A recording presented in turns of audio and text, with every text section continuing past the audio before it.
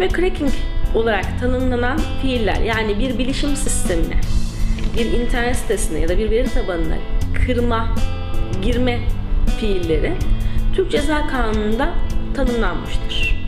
Bunlar bilişim suçlarıdır ve tanımlanması gerekli olan suçlardır. Yani diğer e, hakaret suçu gibi, iftira suçu gibi aslında zaten normal ortamlarda da işlenen ama internet aracılığıyla da işlenebilecek olan suçlar değildir. Bilişim sistemine karşı suçlardır. Ceza kanununa baktığımızda bunlar bilişim e, sistemine karşı suçlar başlığı altında tanımlanmışlar ve cezalandırılmışlardır. Bir bilişim sistemine girme ve orada kalmaya devam etme olarak tanımlanmıştır. Buradaki V ifadesi çok tartışılmıştır. E, v ifadesinden dolayı tahmin ettiğiniz gibi e, ikisinin bir arada olması yani sisteme girmek ve kalmak gerektiği dolayısıyla port taraması ya da ne bileyim sistemde açık olup olmadığını bir şekilde taranmasının suç olup olmadığı tartışılmıştır.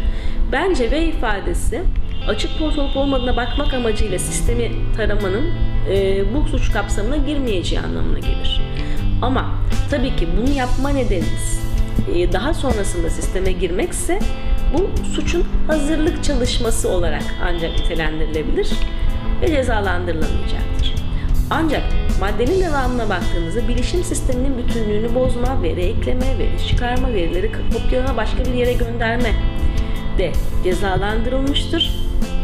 Buraya baktığımızda da aslında mesela bir e, bilişim sistemine girip oraya dışarıya veri gönderen bir Truvat ya da bir ufak program yerleştirmek, bilişim sisteminin daha sonra girilebilir hale gelmesini sağlamak, bir internet sitesindeki veriyi değiştirmek ilk maddede sayılan suçun ağırlaştırılmış halini gerektirir. Aynı şekilde bu tür suçları bir banka veya kamu kuruluşuna karşı işlemek cezanın ağırlaştırılmasına neden olur. Dolayısıyla çok e, değişken kavramlardır e, verilen cezalar ama 6 ayla 6 sene arasında cezası olduğu geniş bir aralık olarak düşünülebilir.